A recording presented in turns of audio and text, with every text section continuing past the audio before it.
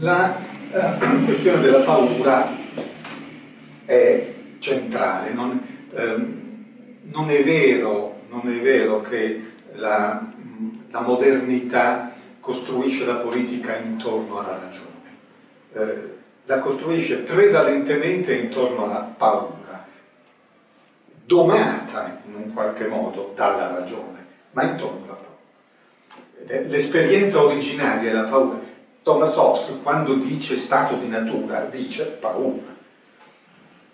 La differenza vera da, dal punto di vista della paura fra la modernità e le epoche che l'hanno preceduta è che naturalmente la paura era conosciuta anche nel mondo antico e anche nel mondo medievale, ovviamente, ma non era per niente, per niente il centro della politica. Sarebbe stato qualcosa di vergognoso per un greco, per un romano, pensare che la politica ha a che fare con la paura.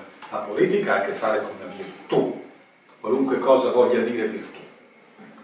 Eh, per un uomo del Medioevo la paura, l'unica paura legittima, che poi è una paura prepolitica, è la paura per il Signore, Timor Domini, inizium sapientia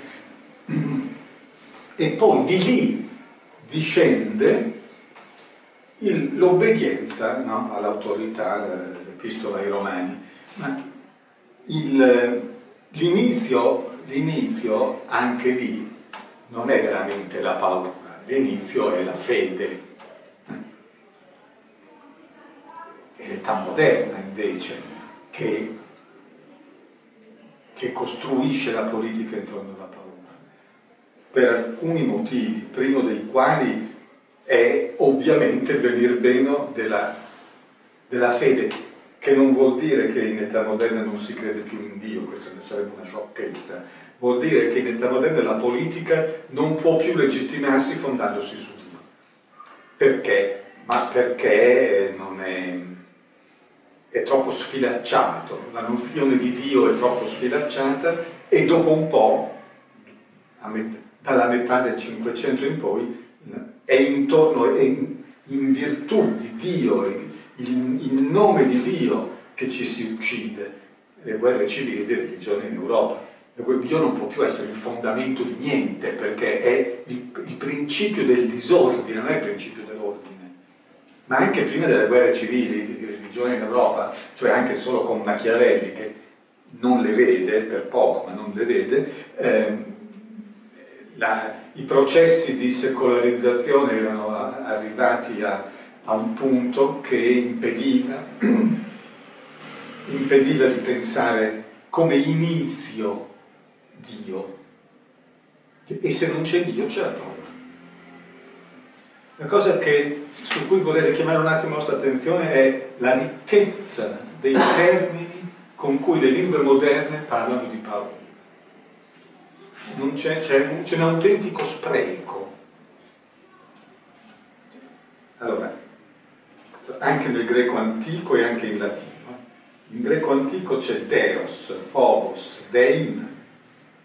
In latino c'è Pavor, Timor, Formito, Terror, Metus.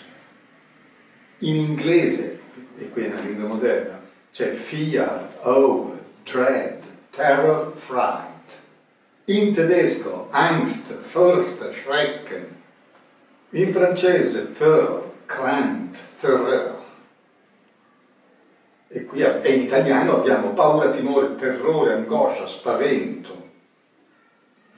E vedete con quanta, con quanta finezza siamo capaci, le lingue moderne, anche greco e latino, erano capaci di distinguere fra lo stato d'animo la manifestazione esteriore dello stato d'animo, la disposizione generale la, e l'angoscia, diciamo, e la reazione attuale determinata, il panico, il terrore.